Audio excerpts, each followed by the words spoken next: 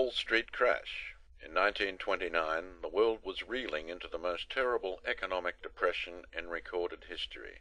In July 1931, about 8 million workless tramped the streets of the United States alone. Nearly 3 million people in Britain were unemployed. It was calculated that, throughout the globe, more than 20 million people had been thrown out of their jobs by the creeping paralysis that had brought the world's trade and industry grinding to a halt. The great boom of the 1920s had collapsed into hunger and despair. The first storm signal of the hurricane to follow was the crash of New York's stock exchange, the momentous debacle of October 1929. If any single day could be said to have launched the depression on the world, it was October 24, 1929, Wall Street's Black Thursday, when sheer panic swept the foundations from the most powerful financial center in the world. Few faint rumblings of the coming storm were audible before 1929. America ignored them with buoyant optimism.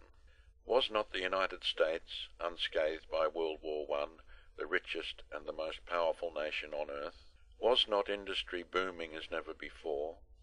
Were not millions of Americans enjoying a standard of living never dreamt of in old-fashioned and quarrelsome Europe? Statistics confirmed the rosy picture. By 1927, no fewer than 283 Americans were paying tax on incomes of more than a million dollars a year, compared with 75 only three years earlier. By 1929, there were more than 23 million automobiles on the roads. Factory workers drove to their jobs in second-hand Buicks and Fords. Sales of radios rocketed from $400 million in 1925 to nearly $850 million four years later. American prosperity, said the experts, had reached a permanently high plateau.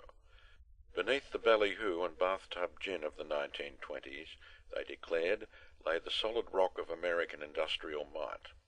Republican presidents, first cautious Cal Coolidge, then Herbert Hoover, sat in the White House. Sound businessmen ruled the country. The sage words of banker and stockbroker commanded the ear of the multitude. The truth was the whole impressive edifice of prosperity rested on a treacherous quicksand of credit. Millions of Americans had mortgaged their future to keep up with the Joneses. Industry was wildly ever expanding and forcing its mountains of goods on the public only by high-pressure salesmanship and credit payment schemes. The American way of life had become a gigantic gamble on the future. Center of the gamble, where it boiled in its craziest and most dangerous form, was the New York Stock Exchange on Wall Street. Through the 1920s, stock prices had been rising. Not until 1928 did the big bull market really get underway. Vanguard of the boom was radio, automobile, and aviation shares. In ten days in March, Radio Corporation of America leapt from 94 to $155. On March 27th, a total of 4,800,000 shares was dealt in, three times a normal day's trading only a year earlier. What was happening was that hundreds of thousands of Americans, ordinary citizens who had previously hardly known preferred stock from a potato, were plunging on Wall Street for the first time in their lives. As the great boom roared on, tales of fortunes made overnight swept the country. From Fifth Avenue millionaire to East Side barber, Americans pored feverishly over lists of stock prices. Subway and trolley bus echoed to discussions on mergers, margins, and bond issues.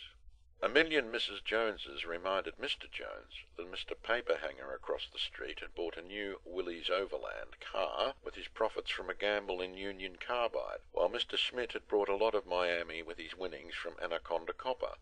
Why didn't Mr. Jones do the same? Mr. Jones was only too eager.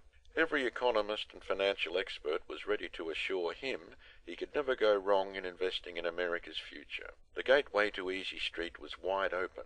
The trouble was that Mr. Jones, with his limited savings, could not compete in the market with the millionaire gamblers who bought and sold shares in blocks of ten thousand at a time.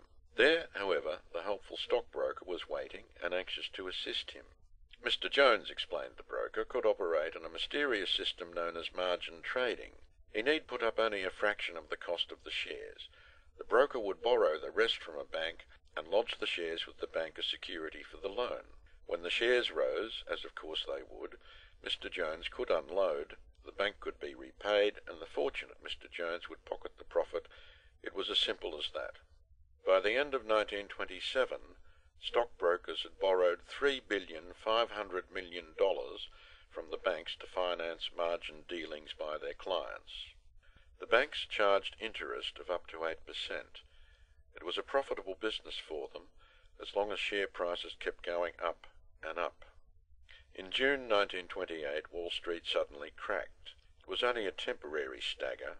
A few thousand timid gamblers were shaken out.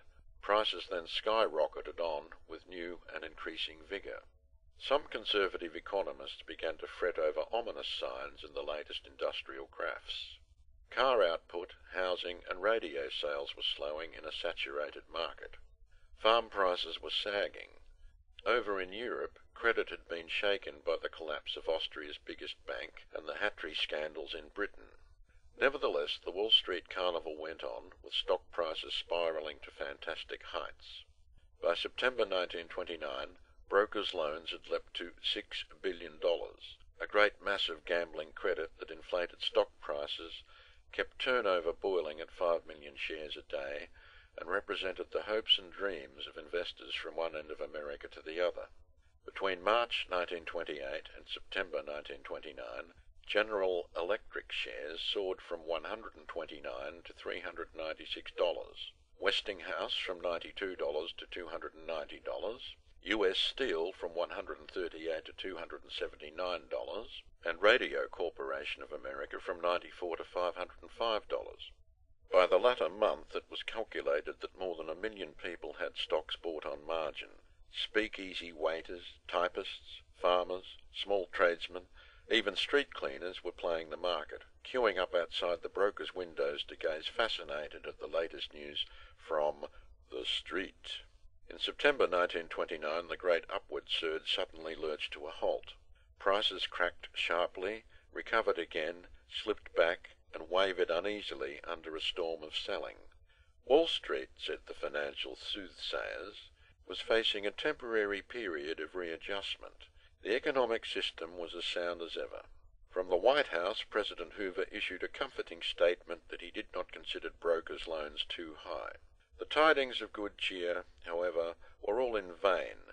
The skids were under the bull market at last. Once the avalanche of selling from frightened and over borrowed gamblers started, no power in America could stop it. On Wednesday, October 23rd, more than six million shares were flung on the market. The average of fifty leading stocks dropped by 18 points. The ticker tapes, chattering into the offices of startled brokers, ran nearly two hours behind the trading on the stock exchange floor. It was obvious what the result would be. Late into the night, the brokers' clerks toiled to send notices to their clients, calling for increased margins to cover the day's losses. The stage was set for the debacle. Few Americans, however, realized next morning that the end had come. Trading on Black Thursday, October 24, 1929, began quietly. Before noon, prices were falling, faster and faster, then crashing headlong into an apparently bottomless pit. The torrent of selling started with the countless small gamblers who could not meet their margins. Each plunge in prices brought a fresh wave of forced selling till even the biggest speculators were throwing blocks of 10,000 or 20,000 shares into the crashing market. While panic roared through Wall Street, representatives of New York's most powerful banks met secretly in the offices of J.P. Morgan and Company across the road to confer with the Morgan chief, Thomas W. Lamont. Between them they agreed to form a fund of $250 million to bolster the tumbling market. Richard Whitney, vice president of the exchange and broker for the Morgan interests, hurried to the floor to bid for 10,000 U.S. Steel shares. The bankers might as well have tried to stem Niagara Falls. Nearly 13 million shares changed hands that day. Prices hurtled even lower as selling orders from frightened and ruined investors flooded in. Until dawn next day, lights burned in the brokers' offices as weary clerks surrounded by piles of telegrams and ticker tape, posted off urgent demands for more and yet more margins.